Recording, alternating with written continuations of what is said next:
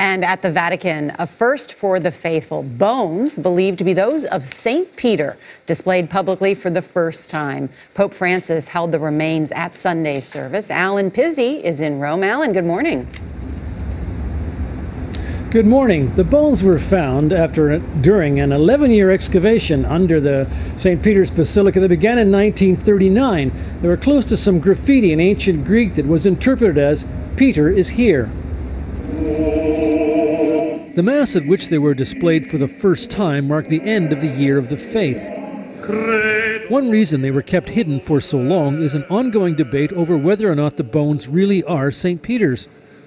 Scientific tests conducted on the nine bone fragments, now resting in a jewel box inside a bronze case, showed only that they belonged to a robust man who died in his 60s.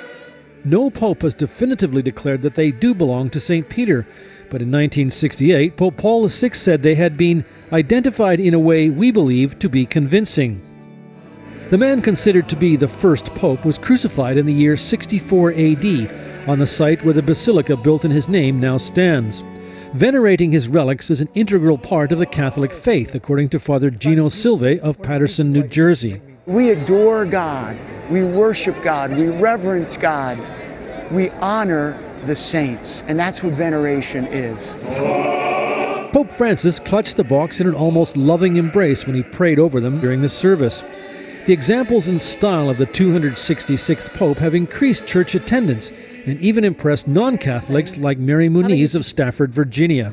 He seems more in tune with what I think Christianity should be, which is to be more given and, and less selfish. The fact that the crowd swelled after the Mass for a chance to see Pope Francis up close is a clear indicator of his appeal. And it's not just ordinary people who are lining up to see him, so too are politicians. The latest is Russian President Vladimir Putin.